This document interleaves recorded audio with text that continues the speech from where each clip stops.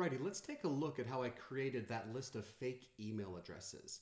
So the first thing I'm going to do, I'm in my spreadsheet, I'm going to actually go to the website listofrandomnames.com because I just want these to be randomized names. I'm going to select 50 names. I want them to be both male and female. I don't want just the first names, I want the first and last names, and I don't really care if they use alliteration. So I'm going to generate my list.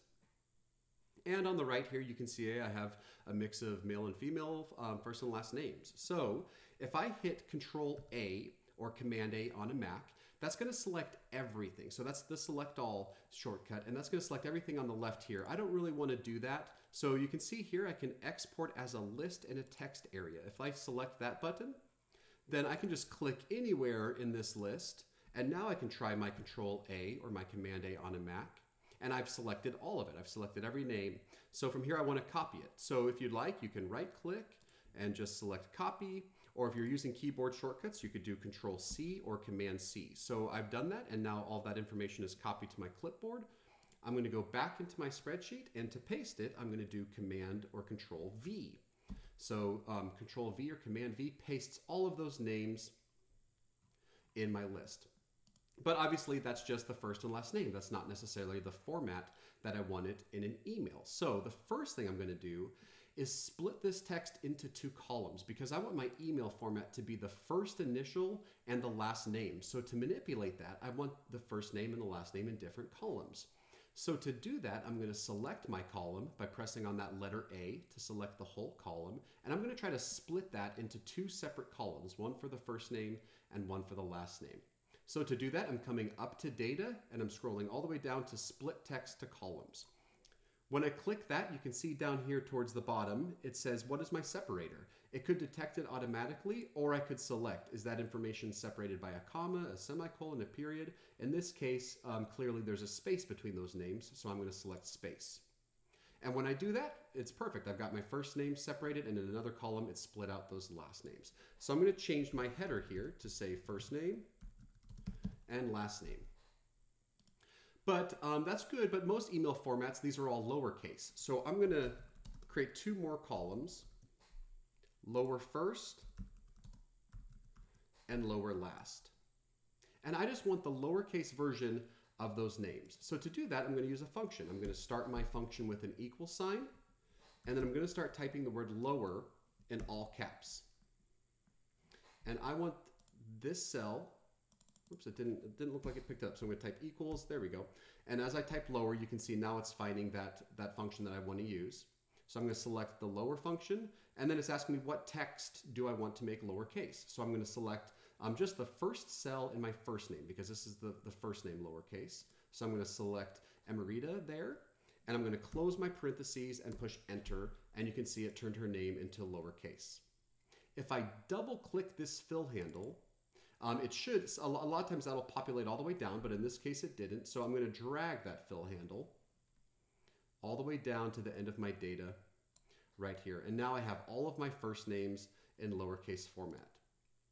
I'm going to do the exact same thing with the last names. So I'm going to start typing equals and then lower. It'll recognize that. And I'm going to select my texts as the last name. So Bale is the first last name that I want in lowercase.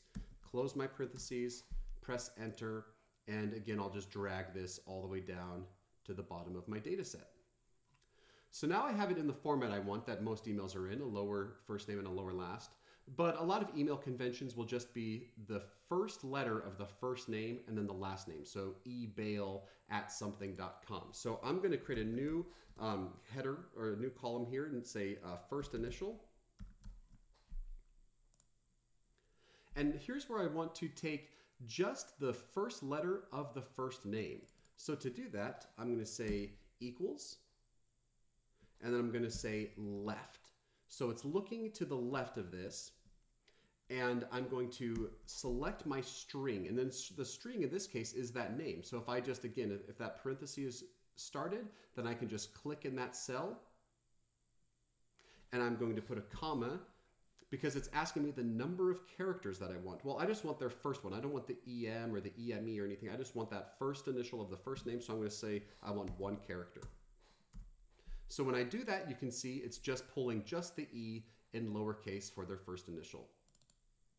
So um, here, when I double clicked it, it actually worked this time. When I double clicked that fill handle, that formula came all the way down and it started pulling for all of those. So now I have my first initial in lowercase format. So basically, I'm, I'm, most of the way there. I've got a lowercase first initial. I have the full last name in lowercase. So now I just need to combine those and put an at something.com, and that'll be my email address. So I'm going to create one last column for my fake email address, and this is the concatenate function. So concatenate just means to kind of uh, link two things together. So I'm going to begin my function with an equal sign. I'm going to start typing the word concatenate, and you can see it pops up here. And it's asking, well, what things do you want to put together? So it gives me an example. Um, if I want to put a word, notice that it's in quotation marks. Otherwise, I can just click on the cell if, this, if the characters that I want are in that cell. So what I want is the first initial, and then I'm going to put a comma because my next string that I want is the full last name.